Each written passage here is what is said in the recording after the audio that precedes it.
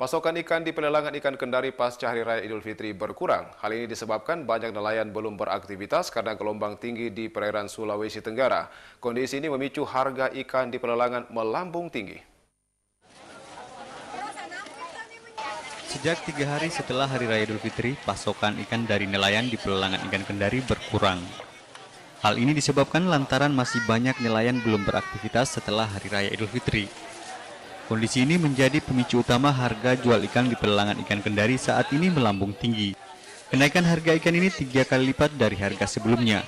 Umumnya alasan nelayan belum beraktivitas karena gelombang tinggi di sejumlah perairan Sulawesi Tenggara.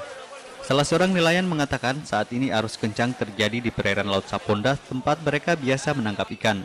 Situasi ini membuat nelayan kesulitan memasang jaring. Masih kurang sekarang sementara istirahat nelayan. Istirahat. Kenapa istirahat tuh, Mbak yang istirahat? Karena ini terambul habis ini satu habis eh, hari raya itu ini. Ya mereka istirahat. Yang ada.